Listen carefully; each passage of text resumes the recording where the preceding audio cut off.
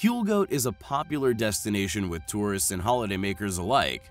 This is due to its impressive natural setting, among which the vestiges of an ancient forest still survive, one that once covered the entire island of Brittany.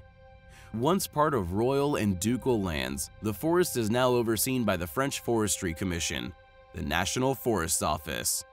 It has a footprint of around 10 square kilometers, with a large replanting scheme repairing much of the damage sustained by the forest and storms, which occurred upon the 15th and 16th of October 1987, when 3.1 square kilometers of trees were leveled or damaged.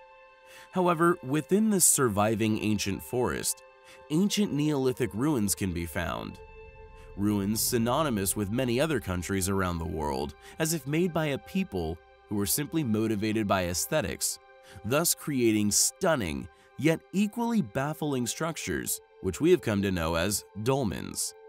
However, although in some areas of Earth these can be attributed to past dwellings, many of them which survive were created with such small base stones or such large roof stones that arguing that creating them for any other reason but their creation continues to be just as puzzling an explanation as the techniques that were once seemingly harnessed which enabled our purportedly Stone Age ancestors the ability to pick up ancient megaliths of such enormous scales.